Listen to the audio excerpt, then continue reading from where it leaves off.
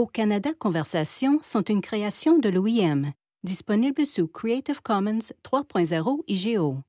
Veuillez vous référer au texte du livre audio pour la marque de copyright et le code légal complet. Financé par Immigration, Réfugiés et Citoyenneté Canada. Funded by Immigration, Refugees and Citizenship Canada. Dialogue 34 de Haut-Canada Conversation. Aide pour la santé mentale. Le dialogue qui suit se rapporte à l'unité 5, La santé, du manuel du participant Orientation canadienne à l'étranger. Pour plus d'informations, veuillez consulter les activités suivantes du manuel du participant de l'orientation canadienne à l'étranger. 5.5 Santé mentale 5.6 Difficultés rencontrées par les nouveaux arrivants 5.7 quand demander de l'aide? 5.8 Comment pouvez-vous venir en aide à vous-même et à autrui? Obassi, Sadia et d'autres nouveaux arrivants participent à un groupe de soutien par les pairs à l'organisme d'aide à l'établissement. Une conseillère en santé mentale parle avec eux de la santé mentale ou bien-être émotionnel. Sadia et Obassi parlent des difficultés auxquelles ils ont dû faire face depuis leur arrivée au Canada et de la façon dont ils gèrent le stress qui accompagne l'installation dans un nouveau pays. Je souhaite à chacun la bienvenue au groupe de soutien des nouveaux arrivants. Comme je constate que de nouvelles personnes sont dans la salle aujourd'hui, Laissez-moi vous expliquer ce que fait ce groupe. Il a été mis sur pied pour vous donner à tous la possibilité d'échanger sur vos expériences en tant que nouveaux arrivants au Canada et sur vos expériences dans votre pays d'origine et dans les pays d'asile où vous êtes allés avant d'arriver au Canada. Le thème d'aujourd'hui est le bien-être. Commençons par faire le tour de la salle et discutons de ce que signifie le bien-être. Vous pouvez aussi échanger sur la manière dont vous avez géré votre nouvelle vie ici, au Canada. Peut-être voudriez-vous parler de la façon dont vous vous êtes adapté à toutes ces nouvelles choses au Canada et dire en quoi celles-ci vous ont affecté tous les nouveaux arrivants rencontrent des difficultés lorsqu'ils arrivent. Et il est important d'en parler. Quelles sont les choses qui vous ont posé problème depuis votre arrivée? Obassi lève la main. Oui, allez-y, je vous en prie. Eh bien, il m'a été difficile de m'habituer aux conditions météorologiques. C'était la fin octobre lorsque je suis arrivé. Je n'avais jamais vu de neige avant, et brusquement, il a fait tellement froid. J'ai cru que mes doigts allaient geler et tomber.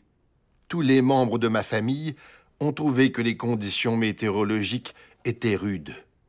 Oui, c'est particulièrement difficile pour les nouveaux arrivants qui arrivent ici lorsqu'il fait froid. Surtout si vous n'avez jamais connu de grand froid. Comment se sont passées vos premières semaines? Tous les membres de ma famille m'avaient accompagné et chacun d'eux avait besoin de mon aide. Mon plus jeune enfant et ma femme avaient besoin de soins médicaux. Il était stressant d'avoir à les accompagner à leurs rendez-vous médicaux. En même temps, il fallait que je cherche un logement où nous habiterons. De plus, comme mon anglais n'était pas bon, il m'était difficile de m'adapter à la vie locale. Toute cette expérience a été angoissante. Comment avez-vous géré ce sentiment de stress? Qu'avez-vous fait? Eh bien, il a fallu que je me renseigne sur le Canada et mon lieu de vie afin de pouvoir régler les difficultés rencontrées par ma famille. Le conseiller en établissement appartenant à l'organisation financée par le gouvernement qui s'occupait de mon cas m'a aidé à m'inscrire à des cours de langue. Agir et faire des progrès. Ça aide. J'ai un ami, Ali, et ses problèmes sont différents. Il a atterri au Québec et il n'a pas de famille avec lui. Alors il souffrait de solitude. Il disait que parce qu'il faisait nuit si tôt en hiver, il avait peur de sortir. C'était l'isolement pour lui, surtout parce qu'il était venu ici tout seul. Oui, il fait effectivement nuit tôt en hiver. Qu'est-ce que votre ami a fait pour atténuer son sentiment d'isolement? Il s'est inscrit à un cours de langue dans sa communauté et a pu se faire des amis en fréquentant l'école. Au début, il craignait qu'il serait difficile de recommencer sa vie dans un nouveau lieu de vie et qu'il ne pourrait pas se faire d'amis. Mais il a rencontré quelques personnes intéressantes qui venaient aussi d'arriver au Canada. Maintenant, il cuisine avec eux et passe du temps à l'extérieur en leur compagnie lorsque la température est agréable. Cela l'a aidé à se sentir moins seul. Cela fait plaisir à entendre. Passer du temps avec d'autres personnes, surtout s'il y a de la bonne nourriture, est un très bon moyen de gérer ses émotions. Quelqu'un d'autre voudrait-il nous faire part de ses expériences? En ce qui me concerne, il m'a été difficile de me faire de nouveaux amis jusqu'à présent. Ma famille et mes amis au pays me manquent. Je suis chef de famille monoparentale. J'ai deux enfants. J'étudie le tourisme dans un collège et je travaille à temps partiel parce que je veux gagner de l'argent pour en envoyer à ma sœur au pays. L'aide financière que je touche m'aide, mais elle n'est pas suffisante pour couvrir les dépenses de base de ma famille ici au Canada. Ma sœur souffre d'une maladie et je pense beaucoup à elle. Je me sens coupable de l'avoir abandonnée. Cela semble très stressant. Je suis désolée que votre sœur soit malade. Merci. C'est très aimable de votre part de le dire. Cela a aussi été très difficile pour mes enfants. Lorsqu'ils ont commencé à leur nouvelle école, ils ont eu des difficultés avec leurs cours ainsi qu'à se faire des amis. L'une est une adolescente et l'autre est encore à l'école primaire. Mais comme je dois travailler et aller à l'école, il faut que je demande à mon aîné de s'occuper de son petit frère. Je suis tellement occupée que j'ai de la difficulté à passer du temps avec eux. Même lorsque je trouve du temps pour échanger avec eux, ils ne se confient pas toujours à moi. Je crois qu'ils souffrent du fait que je travaille trop, ce qui m'inquiète. Je comprends. Il peut être difficile de prendre un nouveau départ dans un pays inconnu, et s'adapter demande du temps. Mais tout comme il y a des conseillers disponibles ici, il existe des services de santé mentale pour les enfants. On peut composer le 1 8 0 0 6 6 8 6 8 6 8.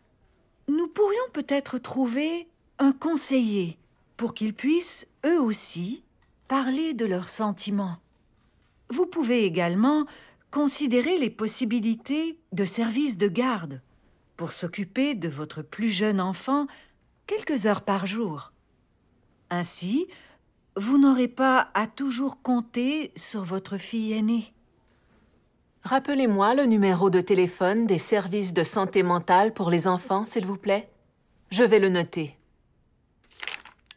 1 8 0 0 6 6 8 6 8 6 8. Merci. Que voulez-vous dire par santé mentale? La santé mentale est la manière dont vous vous sentez, pensez et vous comportez au fil de votre vie. Cela désigne également la manière dont vous gérez le stress, la colère et la tristesse. Tout le monde peut rencontrer des problèmes de santé mentale. Ces derniers touchent des personnes de tout genre, de tout âge, de tout niveau d'éducation, de tout niveau de revenus et de toute culture. Chaque année, une personne sur cinq au Canada rencontre un problème de santé mentale. À l'âge de 40 ans, environ 50% de la population aura ou aura connu un problème de santé mentale. Eh bien, cela fait beaucoup de monde. Oui, c'est le cas. Il est très courant que des personnes demandent de l'aide en santé mentale, tout comme nous allons chez le médecin pour une grippe ou une blessure. Vous devez garder à l'esprit qu'il est normal de ressentir de nombreuses émotions alors que l'on passe par des périodes de changement, telles que l'installation dans un nouvel endroit. De quelle sorte d'émotions s'agit-il? Eh bien, en plus de ce dont vous nous avez parlé, sentiments de solitude, d'isolement et de stress, il y a aussi la frustration et la colère, l'épuisement, le manque d'appétit, l'insomnie, faire des cauchemars ou avoir des flashbacks, des pensées suicidaires ou l'automutilation. Vous pouvez toujours demander de l'aide à votre médecin de famille, infirmier ou travailleur social si ces sentiments de souffrance émotionnelle affectent votre quotidien. Oui, c'est une bonne chose que je l'ai fait. Il est normal de se sentir stressé alors que vous vous adaptez. Mais il est important de se rappeler que, même si vous êtes stressé, la violence familiale est illégale au Canada, notamment la violence verbale et psychologique, la négligence ou les actes de violence physique à l'égard de tout membre de la famille, tel qu'un enfant, l'enfant d'un conjoint ou d'une conjointe, un compagnon ou une personne âgée. Oui, la facilitatrice de l'orientation canadienne à l'étranger nous l'a expliqué à l'une de ses séances avant notre départ au Canada. C'est bien, mais si vous avez connaissance de tout autre nouveaux arrivants qui se sentent en colère, tristes ou inquiets à propos de leur situation, n'hésitez pas à les amener aussi à ces séances de groupe. Pour le moment, voudriez-vous parler de vos émotions et de ce que vous avez vécu à travers toutes ces épreuves? Je me sens bien souvent fatiguée et stressée. Parfois, j'ai des douleurs au ventre et j'ai le vertige. Mon répondant m'a donné le numéro de téléphone d'un travailleur social. Celui-ci a dit que je devrais aller voir un médecin. À la clinique médicale, on m'a fait passer quelques examens, mais ils n'ont rien trouvé. Lorsque je lui ai parlé du stress que je ressentais, nous avons évoqué le fait que cela pouvait être la cause de mes douleurs au ventre et de mes étourdissements. Le médecin m'a référé à un spécialiste en santé mentale. J'attends que la secrétaire du spécialiste me rappelle pour prendre un rendez-vous, mais elle m'a avisé que cela pouvait prendre du temps. Elle a aussi proposé que je m'informe en ligne ou en composant le 211 pour connaître les services de bien-être offerts. L'idée d'un groupe de soutien me plaît. Je crois qu'il offre la possibilité d'y rencontrer d'autres personnes qui se trouvent dans la même situation que moi. C'est bien. En parlant à une personne des difficultés que vous rencontrez, vous vous prenez en main, comme lorsque vous avez contacté une personne en qui vous avez confiance, et vous avez établi un lien très important à ce moment-là. Votre santé mentale est aussi importante que votre santé physique, et les deux sont liés. Aussi est-il important de prendre soin des deux tout comme vous demanderiez une aide médicale lorsque votre corps a un problème, il est également important de demander de l'aide si vous avez des problèmes de santé mentale. Maintenant, parlons de quelques activités à faire pour atténuer votre stress. Des choses à faire qui vous détendent et apportent de la joie. Pouvez-vous citer des exemples? Eh bien, j'ai constaté que passer du temps à l'extérieur avec mes amis me détendait. De plus, aider les autres me fait oublier mes sentiments de tristesse, de stress et de solitude.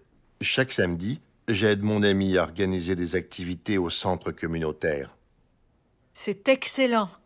Le temps passé à l'extérieur vous permet de profiter de l'air frais et du soleil, ce qui peut améliorer votre humeur.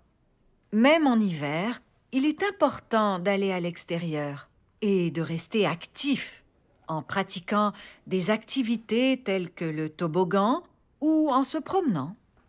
Aider les autres peut vous apporter de grandes satisfactions aussi. Moi, prier m'aide. Aussi, j'appelle souvent ma famille restée au pays. À cet égard, la technologie est un bienfait. J'aimerais recommencer à peindre avec mes enfants, comme nous avions l'habitude de le faire lorsqu'ils étaient plus jeunes. C'est une bonne chose que vous puissiez rester en contact avec ceux que vous aimez. La communication avec d'autres personnes est un excellent moyen non seulement de maintenir des liens, mais également de partager nos émotions sur tout ce qui se passe dans nos vies. Il est plus facile de le faire avec des personnes en qui vous avez confiance. Et prier, méditer ou énumérer simplement ce qu'il y a de positif dans votre vie ou vos projets d'avenir, tout cela peut vous apporter un sentiment de paix intérieure. Je crois que nous pouvons aussi essayer de partager des passe-temps avec nos enfants. Vous avez raison. Des passe-temps comme peindre avec vos enfants sont aussi une très bonne idée. Il est très gratifiant de prendre du temps pour vous, pour faire quelque chose qui vous procure du plaisir, comme une activité manuelle ou la lecture. Il existe d'autres exemples d'activités relaxantes qui peuvent contribuer à faire baisser votre niveau de stress, comme manger sainement, pratiquer un sport ou faire de l'exercice, pratiquer certains aspects de votre culture, vous concentrer sur les aspects positifs de la vie. D'après vous, y a-t-il certaines nouvelles activités que vous aimeriez essayer cette semaine? Il y a un centre communautaire dans mon quartier auquel j'aurais voulu m'inscrire. On y organise des cours de conditionnement physique en groupe. Et il y a un terrain de basketball. J'essaierai peut-être d'organiser une partie de basketball avec mes amis un de ces après-midi. En ce qui me concerne, il y a certaines personnes dans mon cours de langue qui se réunissent après le cours pour manger ensemble. Chaque personne cuisine quelque chose et l'apporte. Je ne me suis jamais jointe à ce groupe de personnes parce que je ne peux pas laisser mes enfants seuls trop longtemps. Mais je leur demanderai si je peux venir avec mes enfants. Je crois que certaines d'entre elles ont elles-mêmes des enfants. Vous avez tous les deux de très bonnes idées. Pour ce qui est du repas, vous pourriez peut-être vous entendre avec vos camarades de classe pour faire garder tous les enfants ensemble. Ainsi, vous pourriez prendre du temps pour vous et les enfants pourraient aussi rencontrer d'autres enfants. Oui, c'est une bonne idée. J'aimerais faire cela avec eux. Ce serait pour moi le moyen de commencer à me faire des amis au sein de ce nouveau groupe. Tout à fait. Bien. La séance a été très bonne. Je vous reverrai la semaine prochaine et j'espère avoir l'occasion de vous entendre parler des activités relaxantes que vous avez faites au cours de la semaine. Fin du dialogue de l'unité.